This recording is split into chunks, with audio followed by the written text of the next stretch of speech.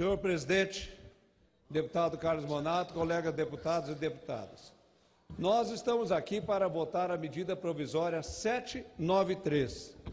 Essa medida provisória, ela é uma medida provisória de extrema importância para os nossos agricultores, seja eles pequenos, médios ou grandes. Essa medida provisória, caso nós não aprovarmos ela no dia de hoje, aí eu quero me dirigir aqui aos meus colegas deputados, em especial da bancada do Partido dos Trabalhadores, que eu vejo aqui muitos deles aqui presentes. Essa medida provisória, caso nós não aprovarmos ela no dia de hoje, ela a partir de amanhã ela cai. E no momento que ela cair, toda todos os nossos agricultores que estão com problemas no fundo rural, porque o que é que eles estão querendo? Eles estão querendo, não é, não é simplesmente que seja perdoada a dívida, não, pelo contrário, o que eles estão querendo são juros justos, essas multas que elas sejam revistas ou que sejam reduzidas para que eles possam pagar. Agora veja bem, se nós não aprovarmos essa medida provisória no dia de hoje, a partir de amanhã, essas, essas dívidas irão para a dívida ativa da União. Automaticamente, todas as propriedades desses agricultores vão ser penhoradas.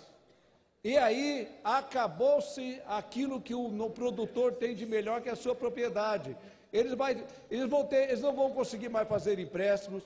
E aquele alimento que chega na, na mesa das pessoas, aquele, aquela produção que são exportadas, que vem segurando o produto interno bruto do Brasil, simplesmente nós vamos sim, vai ser um caos na vida dessas pessoas. Então, eu quero pedir a todos os colegas deputados e deputadas para que eles venham ao plenário, para que nós possamos, no dia de hoje, aprovarmos essa medida provisória, porque aqueles que for contra essa medida provisória, automaticamente está sendo a favor, a favor de quem?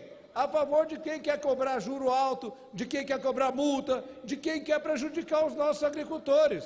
E um detalhe, isso não é para rico, isso é para quem deve até 15 milhões de reais.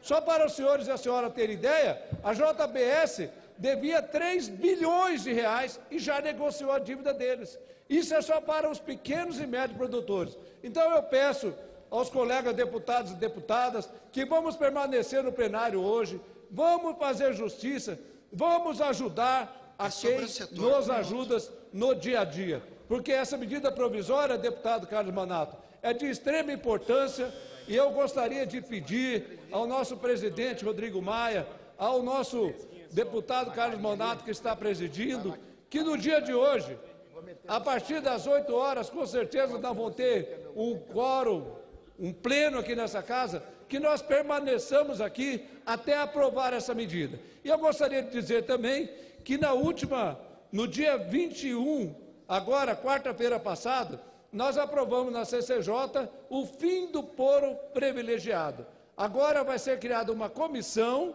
essa comissão vai debater e automaticamente o foro privilegiado estão, estará, depois do nosso trabalho, com os dias contados. Era isso, senhor presidente, senhoras e senhores deputados, muito obrigado.